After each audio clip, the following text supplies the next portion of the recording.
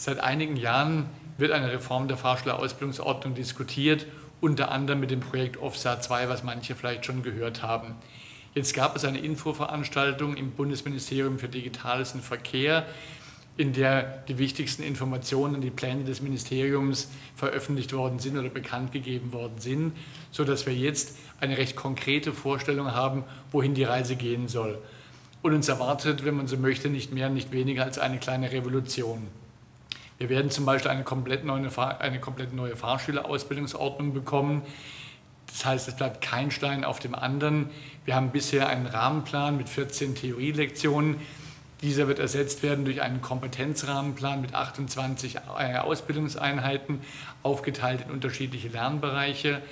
Wir erleben den Einsatz von Simulatoren. Das heißt, das Ministerium plant zumindest, die Simulatoren so stark zu verankern, dass es künftig möglich sein wird, zum Beispiel die Schaltstunden und auch die Testfahrt im Rahmen der B197-Ausbildung über die Simulatoren abwickeln zu können, sofern mit EU-Recht vereinbar.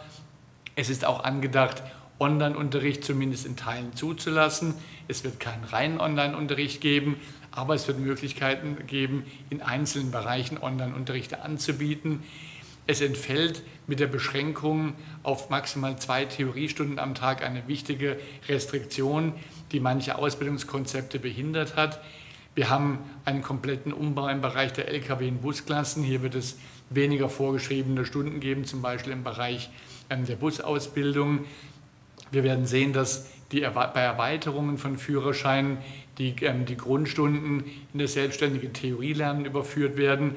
Also hier kommt eine ganz schön große Welle auf uns zu. Die Veränderungen werden enorm sein.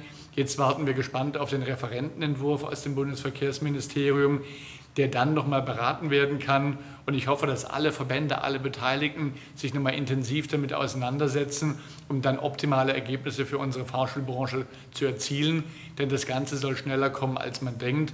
Schon 2026 könnte es losgehen, vielleicht sogar im ersten Quartal 2026. Und bis dahin gilt es sich jetzt vorzubereiten. Und alle, die in der Fahrschulbranche aktiv sind, alle Fahrlehrerinnen und Fahrlehrer, sollten sich jetzt schon langsam mit dem Thema vertraut machen. Denn wir haben jetzt relativ konkrete Vorstellungen. Das wird alles so oder so ähnlich kommen. Es wird keine riesigen Veränderungen mehr geben.